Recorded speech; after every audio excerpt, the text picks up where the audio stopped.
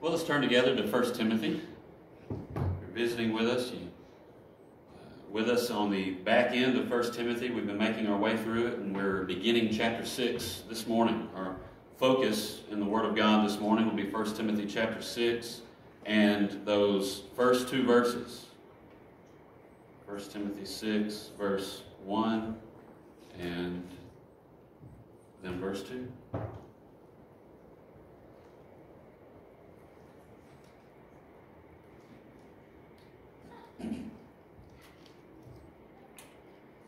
Let's read these together. The Word of the living God. This is our God and Creator who upholds the whole universe by the word of His power, speaking to us this morning. 1 Timothy 6, verse 1 and 2. Let all who are under a yoke as bondservants regard their own masters as worthy of all honor, so that the name of God and the teaching may not be reviled. Those who have believing masters must not be disrespectful on the ground that they are brothers. Rather, they must serve all the better, since those who benefit by their good service are believers and beloved. May God bless the reading of His Word. Lord God, may you now bless the proclamation and the hearing of the proclamation of your Word. Father, we praise you for your Word. We praise you for your truth. And Lord Jesus, along with your prayer in John 17, we pray that your people would be sanctified uh, by the truth. Father, by your, by your truth this morning, your Word is truth. May uh, may your people be sanctified. May you continue to answer the prayer of your Son in bringing about your good plan for your people, that we would be conformed into his image. May Christ be exalted. Uh, Spirit of God, King Jesus said when he was on earth that when you would come, you would glorify him. May he be glorified in the hearts and minds of your people this morning. May he be glorified uh, through the proclamation of his word, through the sound teaching and the sound words of the Lord Jesus Christ that accord with godliness. That your people would be satisfied in Him, built up in Him, and that we would be so to be uh, those who are uh, in greater obedience to Him. King Jesus, you, uh, you, you said that those who love you will keep your commandments. As we uh, expound upon and bring out uh, a portion of your commandments here, may we be uh, fervent and zealous to keep them. Not because we're trying to earn something with you, but because we love you. Because everything that we need has already been found in you. You're, you're enough for us. You're sufficient for us. You have laid down your life uh, for us, your people, once for all, that we would be saved to the uttermost. And well, just as we sang earlier, what, what shall we do for all the benefits that the Lord has for me? We'll raise up the cup of salvation and, and, and pay our vows. We'll serve you out of our love for you and out of everything that you've given to us from who you are. May the preaching of your word, and, and as we continue to worship you in this time, may it be used mightily to that end. For your glory and for the joy and sanctification of your people. We pray this, uh, Jesus, in your name. Amen. Well, if you've ever wondered how you are to relate to or treat all the different individual members in the church, all the different individual members of the body of Christ here in God's household. Well, the apostle has definitely answered that for us here as we've been going through this section in the past several Lord's days, which goes back to the beginning of chapter 5. Right, someone may ask, well, how, how, am I supposed to treat the older men? I'm sitting here in the church and in God's household. How am I to do this? Well, we're, we're taught that very clearly uh, as fathers. Don't rebuke an older man, encourage him as you would a father.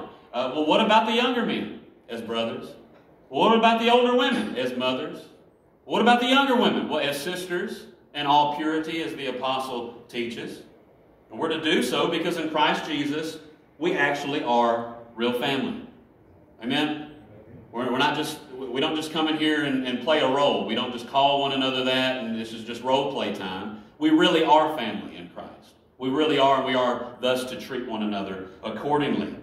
For to all who receive him, Christ Jesus, John, in John 1.12, who believe in his name, he gives the right to become children of God. He gives the right to become a part of his eternal family that loves one another in truth and never fails. Someone says, okay, well, going out from that, what if we have some widows in the church? What if we have some mothers in the church who are destitute and, and helpless in and of themselves? They don't have their husbands there to provide for them anymore. What are we to do with them? Well, Paul told us that. Verses 3 and 4, just to summarize what he teaches from uh, verse 3 to, to verse 16. Honor widows. Take care of them. Honor widows who are truly widows. But if a widow has children or grandchildren, right, if she has family, let them first learn to show godliness to their own household and to make some return to their parents. For this is pleasing in the sight of God. So he, he tells us very clearly how, how we are to relate to and to treat our destitute mothers, widows amongst us. Someone says, okay, well, you know, we got these elders here. How, how are we to treat these elders amongst us? How are we to relate to them? Verse 17 to 20 Let the elders who rule well be considered worthy of double honor, especially uh, those who labor in preaching and teaching. For the scripture says, You shall not muzzle an ox when it treads out the grain, and the laborer deserves his wages. Do not admit a charge against an elder except on the evidence of two or three witnesses. And as those who, for those who persist in sin, rebuke them in the presence of all, that the rest may stand and fear. And then for those prospective elders, those who are seeking to become elders, as we are making sure that they have been truly called by God to this task, we are to be loving to them, we are to be encouraging to them, seeing to their embetterment and building up, as the apostle commands us in verse 22. Do not be hasty in the laying on of hands. Do not be hasty in this, in, in setting apart men to this weighty task, to this noble and beautiful task in the church. Do not be hasty in the laying on of hands, nor take part in the sins of others. Keep yourselves pure. And then finally, someone comes up in the church and they ask, Well, well what if I'm a bondservant, Pastor? What if I'm a bondservant? How, how am I to act then? How am I to relate to my master now that I am a Christian? Well, I don't know if in our day and age and where we live here in Myrtle Springs, Texas, in the United States of America. I don't know if anyone would ever in my lifetime ask me that question. They might. I mean, that uh, slavery, bondservant, that, that may uh, happen again. Who knows? Um, I don't know if anyone would ever ask me that, but we're going to answer it from the Word of God this morning. Amen? We're going to answer it because it's here, and this is what God has, has chosen in the flow of the text that we're going to look at. And, brothers and sisters, we're going to see how this command, though none of us may be bond servants per se today, uh, it is still very relevant for us here in Myrtle Springs, Texas in the 21st century. We'll have three headings in looking at this this morning. And here in the first one, we're just going to answer this question what is a bondservant? What, what, what does Paul mean when he says, Let all who are under a yoke as a bondservant regard their own master as worthy of all honor? What is a bondservant? Well, in short, a bondservant is a slave. That's what, that's what the word means. A bondservant is a slave. Uh, the Greek word here translated bondservant is the word doulos, or doulos, and that is what the word means. That's just the clear translation of the word. It means slave. Uh, no, no other translate, no other words to give around that. It's just, it just means slave. Now, in most of our English translations today, you won't find this word the majority of the time, doulos, you're not going to find it the majority of the time translated as slave. Most of the time, it's translated as bondservant, uh, as here, or it's translated just as servant. Uh, most of the time, you're going to see bondservant or servant. And that is because of the association that the word slave has with what we would call the sinful and dehumanizing institution that we know as slavery that took place here in America. But, you know, the apostle didn't have that practice. What, what we know as slavery that happened here in America, he didn't have that practice uh, per se in his mind when he wrote that word here for those who were slaves in his day. Uh, so, church, instead of us veering away from a word just because of an association that it might have, it would be more beneficial for us to interpret the word the way it was originally meant and the way it was used by the Apostle Paul instead of uh, viewing it through our 21st century lenses. Uh, that, and that's just proper hermeneutics. That's just proper way to interpret uh, any word, in, in, including the Word of God. We don't interpret or translate a word depending on how it makes us or someone else feel because of an association it has. We interpret a word based on what it means. Amen? Amen. So, as I said, Paul doesn't have all of what we know as slavery in, in mind here. And I say that because he's already condemned certain aspects of that kind of slavery uh, earlier in this letter. He's already condemned some of that. Um, what did he already say that the law exposes in contrast to sound doctrine? If you were with us back when we were in chapter 1, he, he mentioned a few things that the law exposes that is contrary to sound doctrine and that which is in, in accordance with the gospel of the glory of our blessed God. Well, in 1 Timothy 10, uh, first, I'm sorry, 1 Timothy chapter 1, verse 10, he mentioned, one of the things he mentioned was enslavers, man stealers. That was one of the things he mentioned. Uh, that is those who take someone captive, steal someone, in order to sell them into slavery. Uh, that is the most vivid and extreme breaking of the ninth commandment. It's a sin, it is wicked and immoral to steal anything, but the most vivid display of that is stealing an actual image bearer of God. Stealing a person to sell them. And that's exactly what fueled slavery uh, as we know it here. People were stolen and they were sold into slavery. Beloved, that's explicitly condemned by God in Scripture, explicitly um, elsewhere in Exodus 21, verse 16. Exodus 21, 16. Uh, the law of God declares this Whoever steals a man and sells him, and anyone found in possession of him, shall be put to death. You steal someone and you sell them, you're to be put to death in accordance with the law of God. And then you have laws as well given for the protection and care of those who are in a proper God ordained slavery. For example, Exodus 21, verse 20 says, When a man strikes his slave, male or female, with a rod, and the slave dies under his hand, he shall be avenged. If you, you strike your slave and you kill them, he shall be avenged for what you have done in taking their life in that way. Exodus 21, verse 26 to 27 as well. When a man strikes the eye of his slave, male or female, and destroys it. So if you strike the eye of your slave and you destroy that eye, it says he shall let the slave go free because of his eye. Also, if he knocks out the tooth of his slave, male or female, he shall let the slave go free because of his tooth. So, you see, there is no way that Paul in speaking of slavery here, uh, that he's speaking of the practice of slavery as known in America and giving the thumbs up to it. He, he's not. Uh, but at the same time, he's not saying that all slavery is bad either. He's not saying slavery, just the practice in general, is wrong. You don't need to do it, or we wouldn't have the commands that we have. Here, the law of God uh, ordains slavery uh, righteously and not in a way that dehumanizes people. Slavery, as ordained and governed by God's righteous law, is certainly fine. You see, church, slavery in and of itself is not condemned. But as I said, what is condemned is enslaving. What is condemned is man stealing and dehumanizing image bearers. Uh, and as I just read, there, there are just consequences for that in God's law. Uh, but slavery in and of itself, slavery uh, in Paul's day and even back to the Old Testament time, as we have commands for it in God's law, it was just a part of the culture. It was just a, a normal part of the culture. Uh, they didn't live in the same kind of culture we live in today where there's just an abundance of everything amongst us. And the majority of the time, people would enter into slavery voluntarily just so that they would be able to eat, just so that they would be able to provide for themselves. They would enter in, into it to escape poverty or at times to pay a debt off.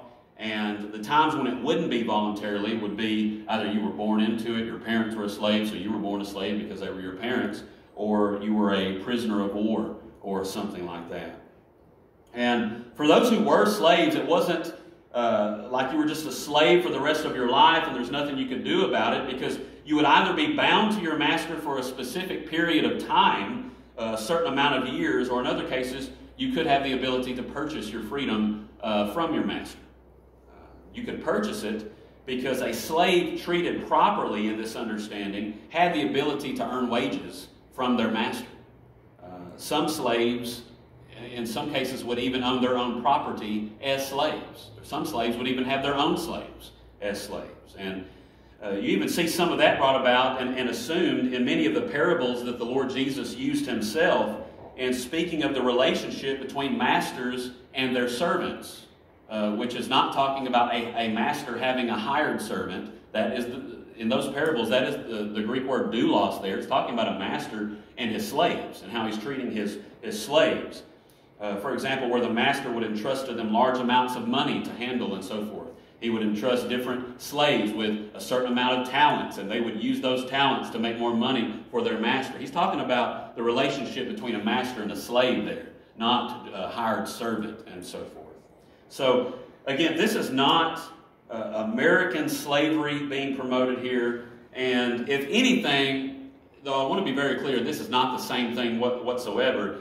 It is much more similar to Paul, Paul describing to someone how the relationship should be between them and the people they work for, uh, between them and their boss, between them and those who have hired them. Uh, it's much more similar to that than it is to what we know as slavery. Now, again, I'm not saying it's the same thing at all. It's not the same thing. Uh, because unless we have some kind of contract, there is in no way that we are bound to our employers for a specific period of time or that we have to buy our freedom from them. Um, there, you know, in, in, most cases, you could just leave a job at, at, the, at the flip of a hat. Um, you, can, you can just walk out.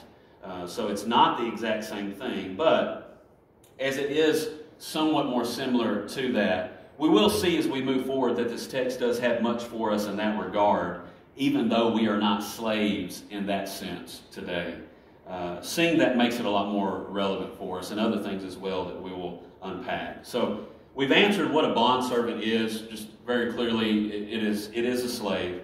Now let's answer, let's answer this question. What is the Christian slave to do?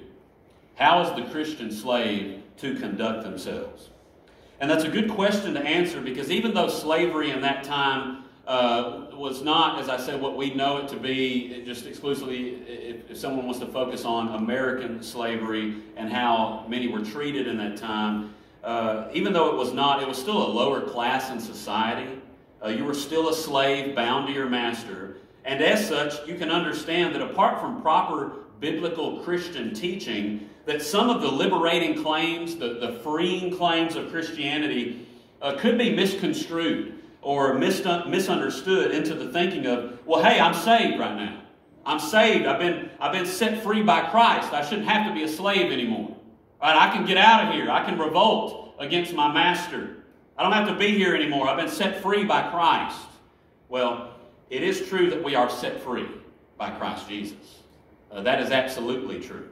He has come, Isaiah 61, verse 1, to proclaim liberty to the captives. He has come to do this. But as his people, church, what are we set free from? What, what, what are we set free from? Are, are we set free in Christ Jesus from all forms of headship and control, whether ordained by God or not? Are we set free from all forms of control and headship? Well, if you ask the social justice warrior, they would probably say yes. They would probably agree. But that's not what the Bible teaches. That's not what Christ calls his people to whatsoever. The Bible teaches that if we have been set free by King Jesus, beloved, we've been set free from sin. We've been set free from sin, praise God, set free from the very thing that will lead us into temporal and eternal destruction. Uh, Jesus told the Jews in his day in John 8 34, Truly, truly, I say to you, everyone who practices sin is a slave, a doulos to sin. Everyone who practices sin is a slave. They're enslaved to sin. So who's ever practiced sin in here? Ever, yeah. Every, yes. Everybody. That's the point. Everybody. Everyone in God's world, apart from salvation in Christ, is a slave to sin. Sin is their master. They're bound to it, to do its will, to follow it. Uh, the natural man, the person who is not born again, the person who has not been truly converted, is bound and enslaved to a sinful disposition of heart that always desires to fulfill the passions of their own body and mind. They always want to do what's right in their own eyes and their own opinion. They always want to follow the traditions of man and what feels good to them instead of what God says and how He says to do it. And here's the thing, brothers and sisters sin is a hard master. who doesn't let his, his slaves get away that easy. Uh, uh, sin is a hard master who doesn't give his slaves opportunity to work their way out from slavery, to work their way out from him being their master. He doesn't give them an opportunity to gain their freedom from him on their own because uh, this is our very nature. This is who we are. Just as a leopard cannot change their spots, we can't change this either. The only way that we can be set free from this fallen, sinful estate is through Christ. He, he is the only one able to do this and qualified to do this, to set sinners enslaved to sin free from it. He entered into the world and he utterly conquered sin. He was never a slave to it, he utterly ruled it. And thought, word, and deed, tempted in every respect, yet without sin. He ruled sin in everything. Just take his temptation in the wilderness as a, a, a microcosm of this, or a small representation of this. He's fasted 40 days and nights. And after two previous temptations of the devil, he takes Jesus, the devil takes Jesus to a very high mountain and shows him all the kingdoms of the world and their glory. Something that we cannot even imagine seeing all at once. Fasted 40 days and 40 nights, he sees the kingdoms of this world and all their glory. And the devil says to him, All these I will give you if you will but fall down and worship me. That's Matthew 4, verse 9. Beloved, in our weakened estate, even as born again Christians, after not eating and drinking for 40 days and 40 nights, I can almost assure you that after seeing what our Lord saw and all the kingdoms of this world and their glory, that you and I would have dropped down in an instant. That we would have dropped down in our weakened estate in an instant. It's just us and Him. Hey, who else would even know? I'm starving. I'm thirsty. I can't do this. Maybe you're thinking, oh no, I wouldn't do that. I wouldn't do that at all. But let's be real. Even as Christians filled with the Spirit of God, you have sinned. You and I both have sinned, and in that sense, fallen down to the devil for a lot less than the kingdoms of this world and their glory. A lot less have we done so for. Church, that's why we're in such constant need of our King. That's why we're in such constant need of the grace of our King Jesus, because He don't do that. He doesn't do that. He's not weak like us. He is, he is utterly and perfectly strong. He is the king. He's the conqueror who only at all times worships and serves the Lord his God, which took him all the way to laying his life down on the cross for his glory and to save all of his people whom he gave him from their sins. That's why he didn't worship the devil, even in that weakened state. He, he utterly is satisfied in the Lord his God and seeking to love neighbor as self in truth. And he did so on the cross to save them from their condemnation and enslavement to sin. And then he rose from the dead, forever defeating sin, to see to it that we are saved to the uttermost, enabled to worship God in spirit and truth. Amen. He saves us from sin utterly and completely, which is why he said further in John 8 to those Jews, after he speaks of being enslaved to sin, he says, But if the Son sets you free, you will be free indeed. Not you might be free. Hopefully. If the Son sets you free, if you're truly set free by Him, you will be free indeed. Free from sin, free from its condemnation before God, and ultimately free from its power over your life as He sanctifies you by His power in Christ Jesus and, and the Spirit of God and conforms you more and more into His image in accordance with His Word.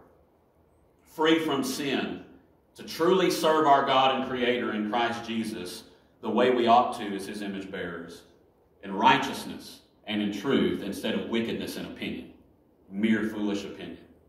So, beloved, we're not, we're not just set free by Christ to do whatever. We're set free by Christ from the enslavement to sin to joyfully become slaves of His. We're, we're set free from enslavement to sin to joyfully become his, his slave, to become a slave of God. That's why the Apostle Paul, elsewhere in Romans 1, verse 1, calls himself a slave of Christ Jesus, a doulos of Christ Jesus. And why he explicitly teaches this in Romans 6 that if we have been set free from our enslavement to sin, then in Christ we have become slaves of righteousness. Romans 6, verse 18. We're a slave of righteousness. If you're in Christ, truly set free by the Son, you are a you're enslaved now to do righteousness instead of sin. And then a few verses later, he says that we're slaves of God. That's Romans 6, verse 22. We're slave of God now. We're not a slave to our opinion, we're not a slave to foolishness. We're a slave of God and of righteousness. Church, that's what we are as Christians. That, that's just indicatively, that, that's just what we are as new creatures in Christ Jesus. We are slaves of God in Him and the slaves to righteousness in every aspect of our lives. In every aspect of our lives. And in having that understanding, having that foundation, you can rightly understand why the apostle doesn't say that the Christian slave is to just get up and get on out of there. Hey, you're free in Christ. Get out of there now. Revolt against your master. You've been set free. Get out of there. What are you doing? No, he doesn't say that. He doesn't say that at all. What he essentially tells them is that they are to serve Christ and glorify him right there where they are. Right there. In the circumstances that he saved them in. Right there where they are. They are to serve their earthly master in serving their ultimate master, the Lord Jesus Christ. Verse 1 Let all who are under all who are under a yoke as bondservants regard their own masters as worthy of all honor, so that the name of God and the teaching may not be revived. So if you're a slave, you are to show forth what a godly Christian life looks like right there where you are. You are to honor King Jesus right there in your current condition of life, which looks like, in that position, honoring your earthly master, honoring him, serving him. You're, you're to regard him worthy of this. Now, that word worthy uh, there, you're, you're to regard him worthy of all honor. That word worthy is the same word that Paul just used when he quoted the Lord Jesus, uh, when he quoted from the Gospel of Luke, that the laborer deserves his wages. It's the same word as deserves, the very same word in the Greek. And that's what Paul is saying here that slaves are to regard or consider their masters as deserving of all honor. Uh, Christian slaves are not to get big headed or have a sense of entitlement because of their newfounded position before God in Christ Jesus. But in having peace with God and being heirs with Christ Jesus, enabled now to love God and truly love neighbor, they are to understand as God's slave that their ultimate master has given them all things needed to joyfully serve Him right there where they're at. Right there where they've been saved at in their position as a slave. Thus, they are to see their earthly master as one whom the Lord Jesus has sovereignly placed in their life to serve and to witness to for his glory, for his name's sake. Beloved, it's why the apostle says that they are to do this. What does he say at the end of verse 1? So that the name of God and the teaching may not be reviled. If you truly want God's name and the teaching of the faith in Christ to be accurately shown and imaged correctly in your life, this is what is to be done. You're to show how our God and Creator would have His people act and live even in that condition of life that He's ordained for you to be in as a slave. That's why the Apostle Paul says elsewhere in Colossians 3, Colossians 3, verse 22 to 24, bondservants, again, it's slaves. Slaves, obey in everything those who are your earthly masters, not by way of eye service as people pleasers but with sincerity of heart, fearing the Lord. Don't do it for them. Do it because you're serving Christ in this, he says. He says, whatever you do, work heartily as for the Lord and not for men, knowing that from the Lord you will receive the inheritance as your reward. You're serving the Lord Christ, is what he says. There, in your slavery, there in that condition and that status of life, you're serving the Lord Christ. You don't have to get out of that to serve the Lord Christ. You serve Him right there just as we serve Him in every aspect of life. So, why should you be doing this? You're serving Him.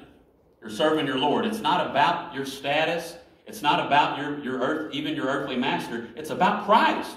It's about what He's called you to do right then and right there. Now, that doesn't mean that though a Christian slave, sh- uh, that doesn't mean though that, that a Christian slave uh, shouldn't become free uh, if they are able. Because Paul does speak of that in 1 Corinthians chapter 7. In 1 Corinthians 7, verse 21, he says, Were you a bondservant? Were, were you a slave when you were called or when you were converted?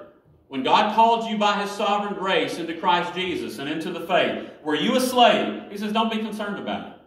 Don't be concerned about it. But then he says this, But if you can gain your freedom, avail yourself of the opportunity. Yeah, if you can do it, do it. If you can avail yourself of the opportunity, get out of it. So you see, the point here, church, the point here is being content in where we are. That's the point. Being content in where we are. Serving Christ right, right where we are because ultimately we have all that we'll ever need in Him. To bring it in over into some application for us, church, well, let's say we're in a position in life that's not very comfortable right now. I don't like this. It doesn't feel good to me.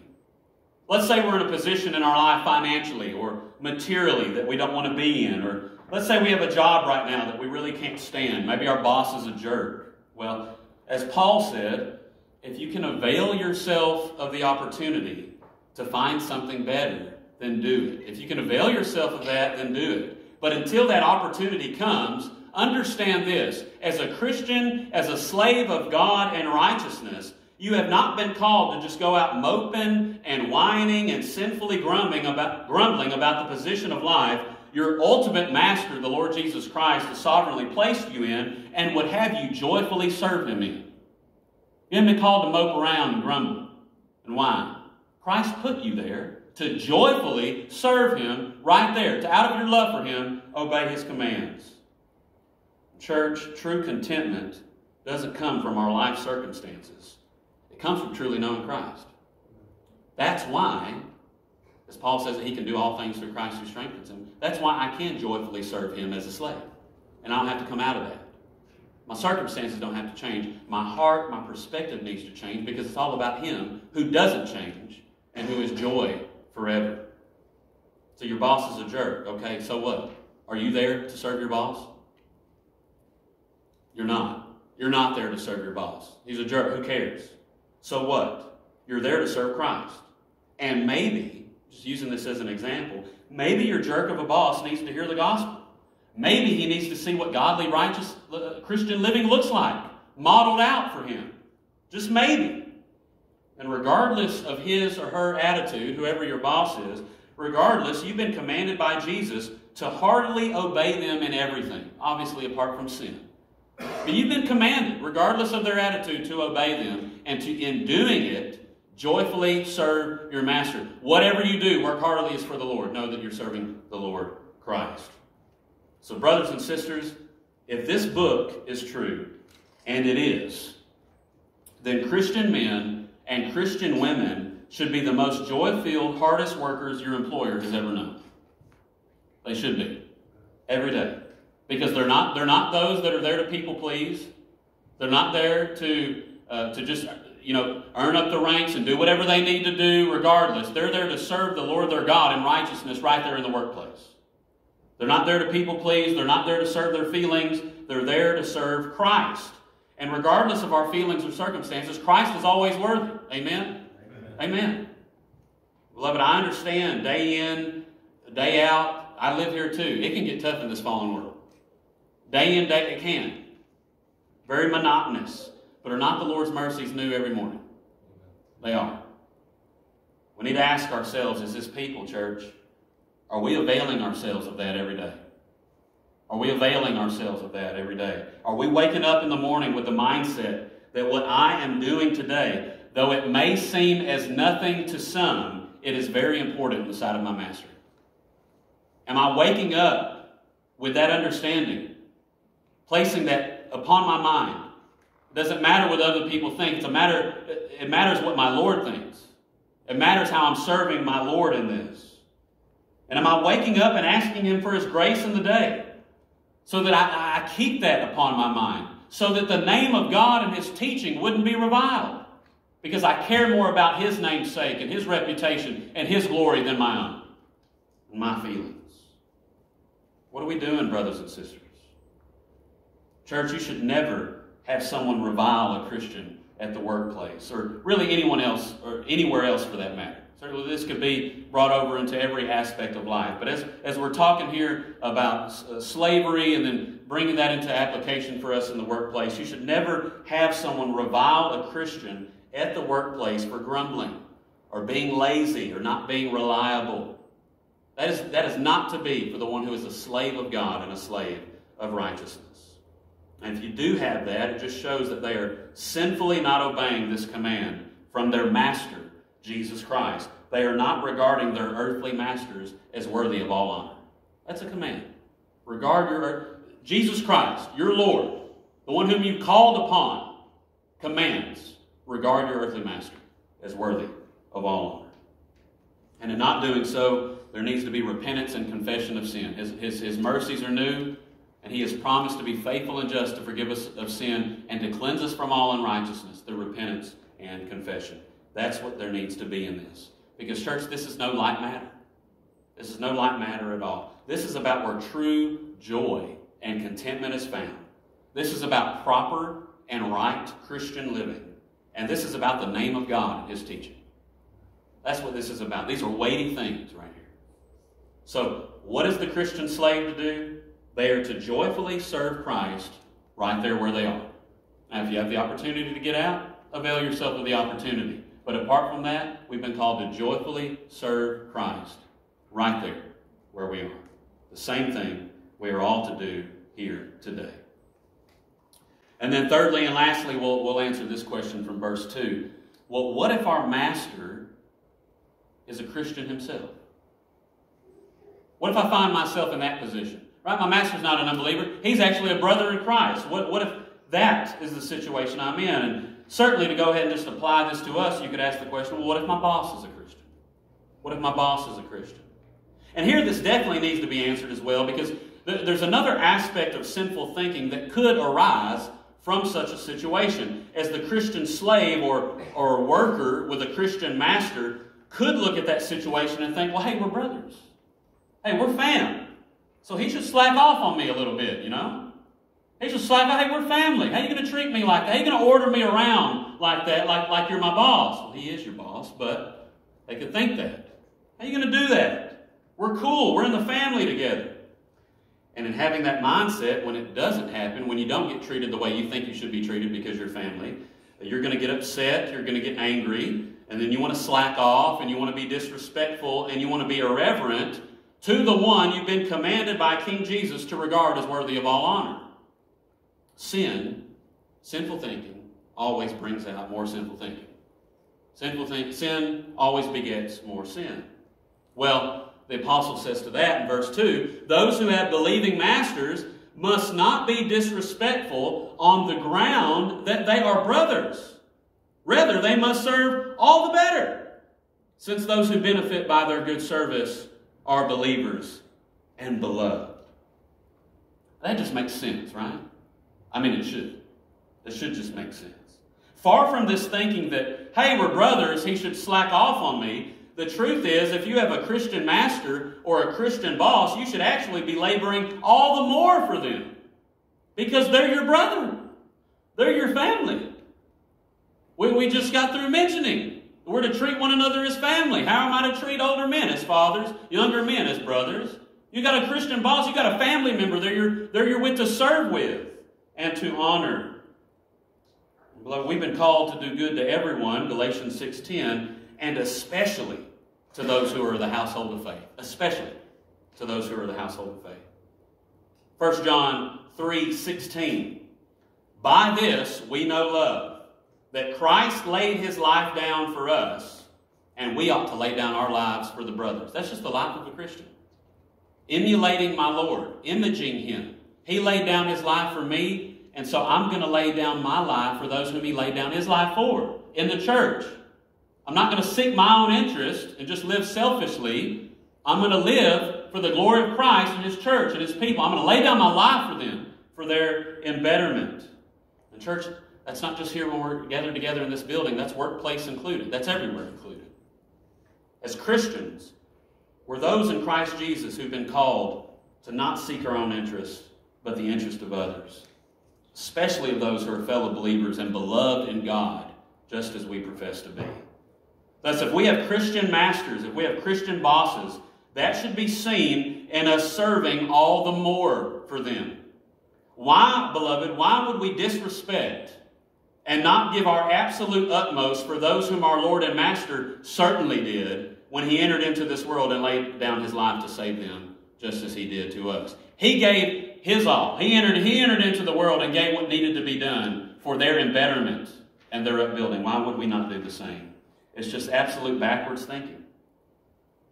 Beloved, that's a part of the old man that is to be put off and in Christ renewed, as we are to put on the new man in Christ that is formed after the image and likeness of God. It's thinking that needs to be confessed and repented of if it's there. We have a Christian master, we are to serve them all the more. They're family. I'm there to serve my brother. What, a blessing I get to come and serve my brother at the workplace. Just building from what was said under the last heading, uh, brothers and sisters, not only should we be getting up in the morning with the mindset of pleasing and serving our Lord Christ in the day, but if we have a believing boss, we should also be getting up with the mindset that it's time to go to work and it's time to benefit my brother as well. It's time to benefit my sister as well. It's time to build them up. It's time to go serve the church at the workplace. That is to be the mindset of the Christian who has a Christian master or Christian boss as well. And though it's not in our text, I'll, I'll go ahead and read Colossians 4.1 concerning how Christian masters or bosses are to treat those underneath them. This is very straightforward. Colossians 4.1, Masters, treat your bondservants or your slaves justly and fairly. And here it is again, knowing that you also have a master in heaven. Right? You're not a master in and of yourself. You're a slave of God in righteousness. Treat those underneath you accordingly. Treat them justly and fairly, knowing that you have a master above in heaven. Very straightforward. Well, brothers and sisters, though we may not ever have someone come up and ask what they are to do if they are a slave and how they are to thus relate to their master, uh, we can certainly see how this relates to our different, different positions really in life, but also as well in the workplace. Uh, but, beloved, we've been called to be content in Christ, content right there in our positions in life where He has sovereignly placed us, and to serve Him in accordance with how He has commanded us to, out of our love for Him. Amen? Amen? And as we are not our own, but His slaves, bought with a price, by His grace and for His glory, may we do so. And to that end, may He bless the preaching of His word. May He do it. If you bow with me. Uh, King Jesus, our Master, our, our Lord and Savior, may you bless the preaching of your truth. You've, you've set us free through it. Continue to do so as we are sanctified, as we are conformed into your image uh, by your grace and for your glory. Continue to, to sanctify us. Continue to do a great work in our hearts and minds through your word. May we be convicted this morning where need be. May we not be uh, in that. May we not be just uh, uh hearers only of your word, deceiving ourselves and affirming truth. May we be doers of your word, as you've commanded us elsewhere through, uh, through our brother James. King Jesus, we love you. And those who love you are to obey your commands. May we do so. May we do so. May, may, may, may this worship be used as a great means to that end. May we do what needs to be done for your glory, that, that the name of God and the teaching would not be reviled. For you've created us for a purpose. We're not here, we're not just random accidents that banged out of nowhere. We have real purpose. And you are our creator. We've been created by you and for you. May we, by your grace, see to it that we're doing that, doing what you would have us for your glory. We, we love you. We praise you. We praise you again for your truth. We praise you again for your word, that we don't have to wonder how you're to be served. We don't have to wonder how you're to be worshiped. We don't have to foolishly walk around in opinion any longer. We can walk in truth as you've clearly revealed it to us and given us hearts uh, to, to delight in doing so. We, we love you. We, we bless you. May you bless the rest of our day as we uh, spend time together go forward to eat and fellowship. May you bless our, our continued worship of you. We love you. We praise you. We pray this in Jesus' name. Amen.